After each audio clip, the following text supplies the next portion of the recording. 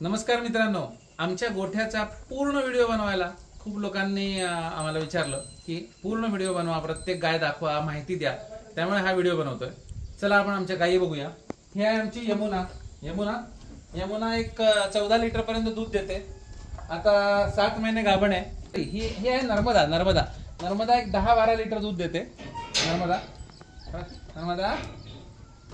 आणि हा आमचा गोरा आहे तयार होतोय. काना. हे बघा. मस्तपैकी गोरा तयार होतो इकडून इकडून दाखवा. ह्याच दाखवा आमचा गोरा तयार होतोय आता.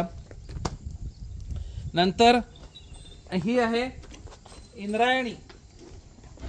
इंद्रायणी ही आमची सगळ्यात लहान गाय आहे. म्हणजे ती कालवडच आहे जी आत्ताच लागलेली आहे. तर त्यामुळे ही पण एक नऊ महिन्याची जवळजवळ नऊ महिने गाभण आहे. थोड्या दिवसात जन्णार आहे. ओके ही आमची गोदावरी. गोदावरीची मुलगी तिकडे आहे. आत्ता मग अशी दाखवली ती. नंतर ही आहे सिंधू. सिंधू आमची सगळ्यात अनुभवी गाय आहे. सगळ्यात मोठी गाय आमच्या ह्याच्यातली गोठ्यातली.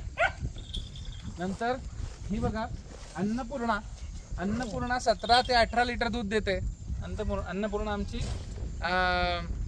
नवीनच गाय आहे. अजून आमच्याकडे पूर्ण सेट नाही झाले पण अठरा लिटर दुधाची आहे. नंतर या इकडे ही आहे रेवती. रेवती म्हणजे रेवा. आमची लाडकी आहे ही पण. आणि हिचं fat content six point two आहे. सगळ्यात उत्तम फॅट कंटेंट आहे. ही आहे आमची कावेरी. कावेरी कानाची आई आहे. तुम्ही काना मगाशी पाहिलं त्याची आई आहे ही. भागीरथी आहे. ही पण एक सात महिन्याची गाभण आहे. आता जाणेल थोड्या दिवसात. नंतर ही बघा. ही गोदाची मुलगी गोमती आहे. गोमती गोमो गोदा म्हणजे गोदावरी तुम्ही मगाशी जी पाहिली त्याची मुलगी गोमती. नंतर या इकडे. हे बघा ही नर्मदाची मुलगी नंदिनी. नर्मदाची मुलगी नंदिनी आता ऑलमोस्ट वयात आली आहे. या थंडीनंतर ही वयात आलेली असेल. आणि हे बघा ही नर्मदाची दुसरी मुलगी. नर्मदाची दुसरी मुलगी निधी. निधीसुद्धा मस्त टुकटुकीत झालेली आहे आता. निधी. नंतर सिंधूची मुलगी ही सरिता आमची. सरिता आज आणि ही सगळ्यात शेवटची यमुनाची मुलगी यामिनी.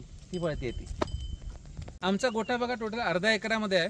तर हा आमचा हे आत्ता एक्झिस्टिंग शेड आहे. हे बघा हे शेड दिसतंय ते.